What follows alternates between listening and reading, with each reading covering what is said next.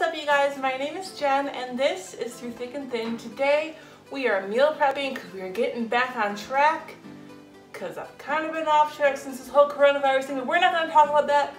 Let's get to meal prepping. Today we're going to do a sheet pan meal. So all you have to do is chop up your ingredients, put them on a foil lined sheet pan, roast them in the oven at uh, 450 degrees for about 20 minutes and you're golden. Let's get to it. So today we are making a roasted chicken and vegetable sheet pan meal. So all we're really going to do is chop up the vegetables that we have on hand and chop up our chicken as well. Oil it, season it, bake it, and we'll be done. It's super simple and it's honestly my go-to meal when I don't feel like meal prepping.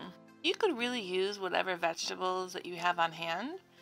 I happen to have green bell peppers on hand, some jalapenos, red onion, broccoli, and some cherry tomatoes. So that is what I decided to roast up, but honestly, you could use whatever vegetables you have.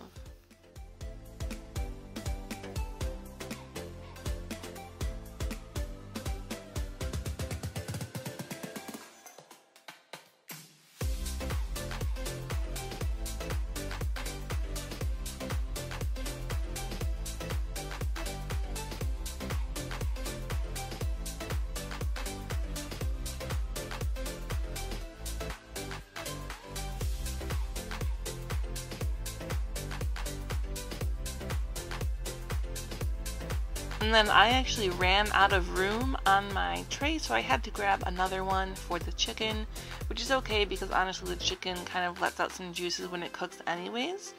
So um, for the chicken, it's kind of important that you have enough space to roast it. You don't really want the pieces touching each other because otherwise they won't cook properly.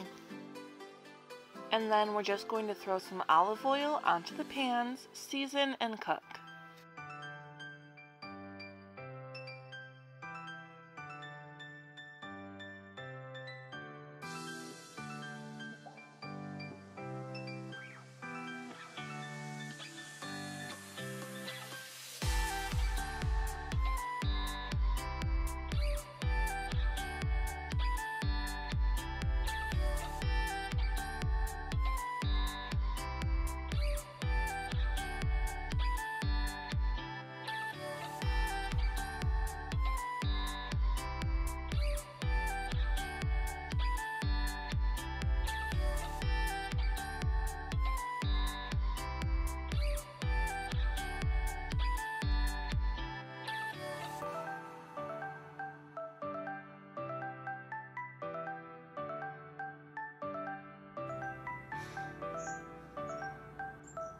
Alright, so our meal prep has cooled and they are now in our beautiful containers ready to be eaten later in the week. Now I will make some brown rice probably with this, um, just to kind of bulk it up a little bit, but I don't really like to have my rice um, like that far cooked in advance, like maybe one or two days is like the max for me on rice. I'm just a little weird about it, but um, I think they turned out super duper pretty and I'm super excited to eat them.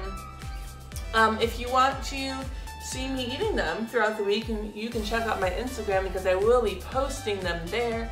And if you want the recipe, you can check out my blog. Um, I'll be putting that up either tonight or tomorrow. So if you're catching it on the day it goes up, might not be up yet, but look for it soon.